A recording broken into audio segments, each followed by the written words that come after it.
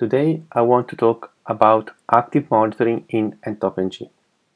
This feature is available in all versions, starting from the community to the enterprise. NTOPNG was designed as a passive monitoring tool, but over time, as you know, we have added some new features that are mostly designed for active monitoring. The first one that was created years ago was network discovery. So it means that NTOPNG is able to discover assets present on your network by running a discovery process that contacts one host after the other and tries to figure out what type of services are available on those hosts. In order to do that, you go in dashboard network discovery and then you click on the wheel. And then network discovery starts. So in this case, you will see a, a progress bar and the network discovery is performed by injecting traffic into the network. Remember that this feature is available only on those devices that are physical. So for instance, in this case, this is a, a network interface uh, available on my laptop and it's working. But if you have other type of devices, such as a loopback interface or a flow-based device, it is not possible to enable this because of course we cannot inject the traffic to it. People familiar with that will recognize the, their host, their assets. We, we also try to understand uh, what is happening, what, what type of devices is one, if a PC, a server, and so on. And uh, we are also able to, to figure out what type of resources is that. So in this case, this is an example. There's a ghost icon. So it means that this host as you can see as 192.168.0.1 is present on my network, so it has replied to active monitoring, but it's a ghost. This because, as you can see, my network is 192.168.1. This is for the uh, network discovery. So this is uh, an example of activity performed by NTOPNG by injecting traffic that is probably familiar to most of you. In addition to that, with version 4 we have introduced active monitoring. Active monitoring is basically something that you can do whenever you want to actively connect to devices and, and, see what is happening to those devices and keep track of them. This is very important, for instance, when you want to monitor your gateway or some services. This does not mean that NTOPNG is becoming a service for active monitoring. We don't want to replace tools as Nagios or similar, but we want to integrate into NTOPNG the ability of performing better measurement over time, also for keeping track of selected resources that are very relevant for us, such as the gateway, the web server, or the DNS servers, things like this, and that for which we want to make sure that those devices are in good health. In this page, you can add here your device. At the moment, we support a few uh, testing tools. Continuous ICMP, so it means that NTOPNG is continuously sending over time, every 3 seconds, a ping to a device, either IPv4 or IPv6. That is different from the ICMP or ICMPv6 because this one is sent once a minute. So the first one is mostly used for understanding how the latency changes over time. This one is that is should be used for understanding if a resource is answering or not. Here you can do the same test by accessing a web page over HTTP or HTTPS, or this one is a speed test that allows you to see what is the bandwidth available on your system. Here you can specify the periodicity, so how often you want to run this test, maybe every hour is enough. And if you want to generate an alert when something happening in terms of bad quality. So in this case you can say if the bandwidth is below 99 megabit per second then deliver an alert. In order to leave an alert you have to use a recipients here. That is something that we have already discovered in another video. Let's start this uh, monitoring and then we'll show you how to do that. Let's now click on add. This speed test. Let's now add another test. So I'm going to ping my gateway, this is one, and so on. So in this case, NTOPNG is monitoring those devices and it is checking whether the expected uh, quality okay exceeds or not the threshold we have in mind. As you can see here we have a, we have a problem because in this case uh, the, the, the monitored bandwidth is below uh, the threshold that, uh, that we had in mind. Here there are charts so you can click on it. It will be mostly empty today because this is just the, the first measurement. But if you wait a little bit, if you're patient, you can specify uh, also the threshold, change the threshold, and add the value that you have in mind. You can also filter this with uh, alerted or, or not alerted, okay? You can specify also what type of measurement you want to see, the speed test, and so on.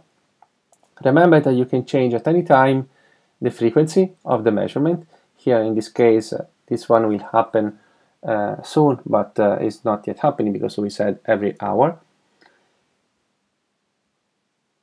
And uh, whenever you do that, the, the measurements are reset. Let's now show everything. Okay.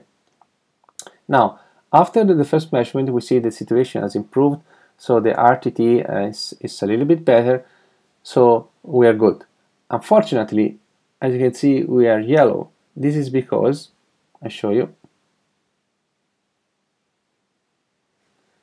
So we have decided to, to put an alert whenever we see the measurement happening below a certain threshold. So in this case, when 99% of the measurements or, or, or less are not good, we consider this an alert. And of course, we can generate an alert.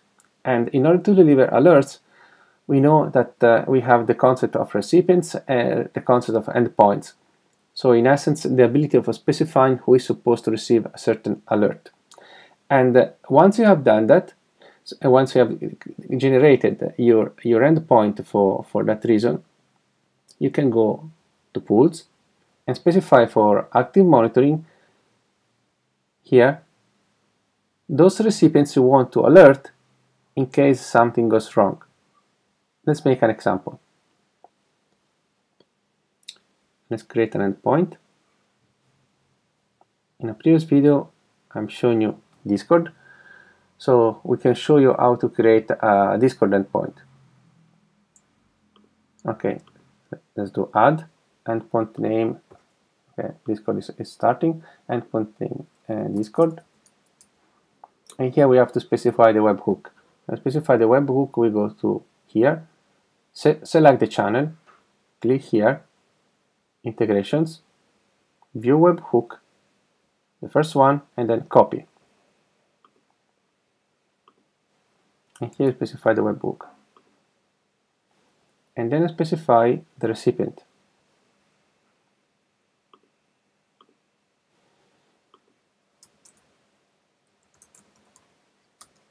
look at Discord. Then I want to specify username, maybe. Let's say active monitoring. And I want to send everything to it. Let's do a test. Okay, it's working.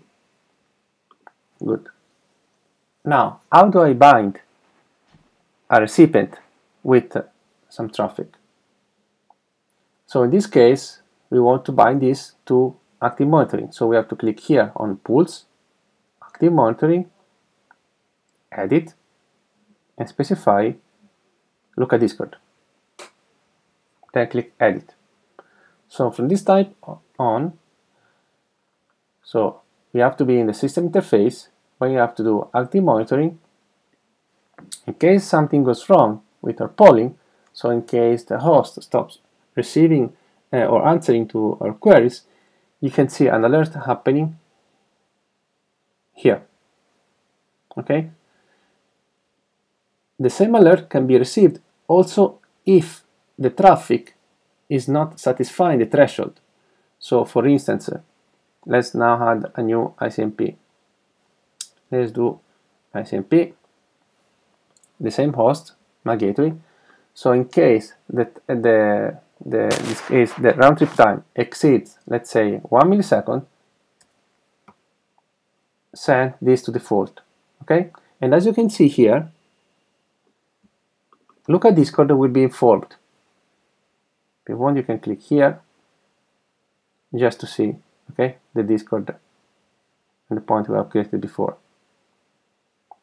Okay, let's now go back to our add window, specify again host, and then put ICMP, then add.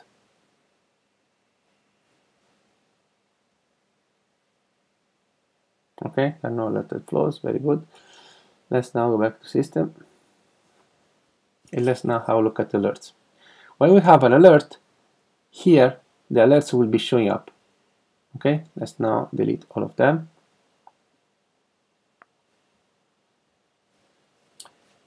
Like I've said, the continuous ping is a ping that is happening every 3 seconds. ICMP is a ping that is happening every minute. This one can be specified, see, every hour. You can change at any time the frequency if you want to do a, a, a slower ping. And now let's uh, simulate an alert. Now we have to wait a little bit until uh, you know a new measurement is performed. So 36 seconds uh, ago, this was um, this was the case. So we don't have to wait for too long. So we have to set it to, to every minute. So in about uh, 20 seconds or less, uh, the measurement will happen, and the window here will uh, will report uh, this information. Okay, as you can see, there is an alert now. So if you want, I can click here. Okay, you see, the alert has been received, and the alert is reported on a web GUI.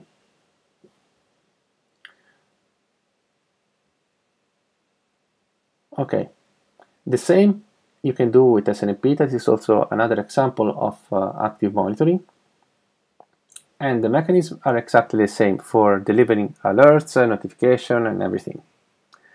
So we hope you enjoyed this video. We hope you can start using active monitoring in addition to NTOP NG traditional traffic monitoring. Thank you very much for using our tools.